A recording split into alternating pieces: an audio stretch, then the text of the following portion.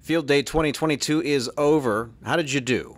We're going to hot wash the performance at my station in this video. Stick around. Black black. A few late changes affected my plans pretty significantly. There wasn't going to be a club that I was going to join for operation. I opted to have a personal challenge that I would attempt to overcome instead. I focused on power management, and that meant that I was going to run a low power operation. I made four decisions as part of this personal challenge for this year's operation. The first, it was going to be a single operator. I was not going to be working around the clock. The second was that I was going to be operating on emergency power only. The third is that I would use one transmitter and that I would work at 5 watts only. Finally, I would use digital only. We'll talk about each of these in just a bit more detail.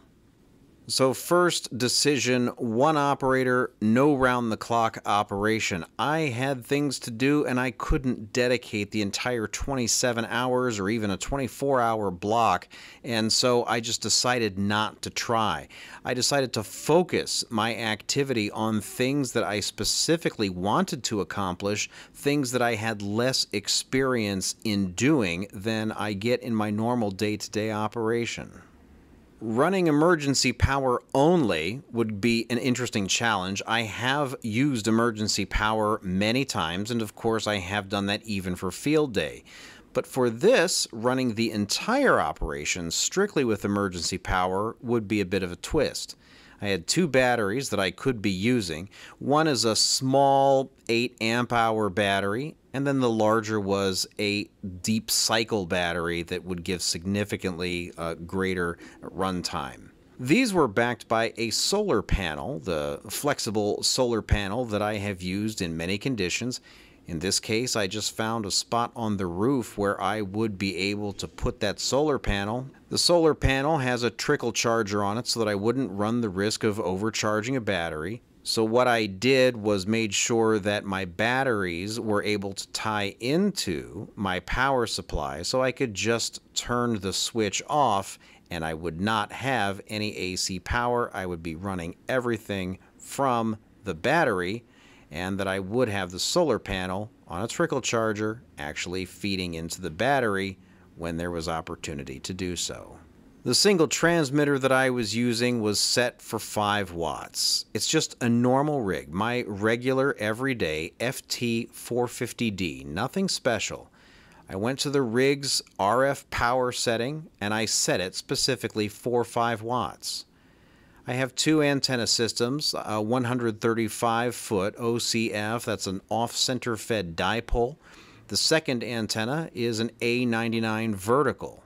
So both of those antennas would feed into a tuner so that I would be able to switch between the antenna systems depending on whether I wanted to be on the dipole or on the vertical, which I have cut to be resonant at 10 meters. I also decided to run digital only. In previous years, I have been a CW operator, I've also been a voice operator, and I've done a little bit of digital, but I decided as a challenge I would make everything all digital, no other mode. This would fit very well with the particular operating decisions I'd made up to this point. In particular, digital works very well in low power conditions or where the signal is just generally weak. And so that seemed like it would make sense. And also, FT8 now has a field day exchange specifically, and I wanted to try that out. So I thought that that was a good combination of variables. So, how did I do? Well, on Saturday, I ran for about three hours. I actually started uh, somewhere around four or so in the afternoon. Uh, I was helping somebody else to get a station up and running. And so I ran until it was time for me to uh, put in the service as the grill operator. Dinner was also low power and off grid. We ran a gas grill in that three hours that I was operating on Saturday, I made about 20 contacts, and then after dinner, I had radio work to do, but it was on another service, so I was separate from the field day exercise. On Sunday, I ran for about eight hours off and on, and I had some other things to handle in there. So I would uh, work the field day uh, for a while, and then I would take care of something, come back to field day. In that time, I was able to make another 80 or so contacts. Thanks to all of the other operators who were out there, all of the stations that were part of field day, it made it possible for me to make contact with them. I worked a few that I knew, which is always a great thing to see, and I also was able to make contact with several stations on multiple bands, which was pretty cool as well. So, by the numbers, how did I do? I had 106 unique contacts with the station plus band combination. All of them were FT8, which means that each of them was worth two points. Because all of the contacts were at 5 watts, I was also able to secure the power multiple. I got the bonus for 100% emergency power operation. I was able to get the bonus for alternate power operation because I was recharging with the solar panels. I got the bonus for receiving the ARRL W1AW bulletin, which I got digitally. I'm going to be claiming the bonus for web submission. I'll be submitting that in a digital log. And of course, the social media bonus. Caffeinate. Hydrate. Radiate. Have a great field day, everybody. And that brings me to a total of 1,510 points. Not bad for about 10 hours worth of operation, 11 hours worth of operation eh, during the course of field day with a single operator using low power. A few things that I took away from the operation was that low power can be very difficult. Running at 5 watts, even with FT8, can be a challenge. What I found is that while I was running, sometimes I would be okay with a particular part of the band where I was transmitting. And the way that I run FT8 is I find a transmission slot, a place on the spectrum, and I keep transmitting there. So when I'm responding to somebody, I keep transmitting on the little slice that I have taken for myself. When running low power, it's very easy for other stations that wish to operate not to hear you, which means that I would be running for a while, somebody else would come on there, a much stronger station, and start transmitting over top of me.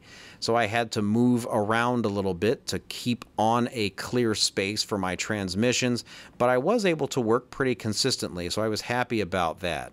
I was able to run on the emergency power. I didn't have any issues. And in fact, I was still running for another 12 hours or so off of the battery. From my perspective, it was a successful field day. I didn't go for a record in the number of points. I didn't try to hit every single objective. And in fact, it was a much more simple operation than what I'm accustomed to when I'm working a multi transmitter site with a team of people that were trying to cover as many of the objectives as possible. So it was successful for me. I hope that Field Day was also successful for you, that you got to accomplish the things that you had set out to do in the first place, and that you got some ideas for how to improve. Not only do you want to be able to do better for field day next year, but of course, all of your normal operation, make it a part of continuous improvement so that you are always ready to operate whenever the need arises or whenever you just need to scratch the itch. Share your experiences with us and share this video with others. Subscribe to the channel if you found it to be helpful and make sure that you don't miss any future videos that we have which will help you to be a better radio operator. Until next time, this is Radio KD8 TTE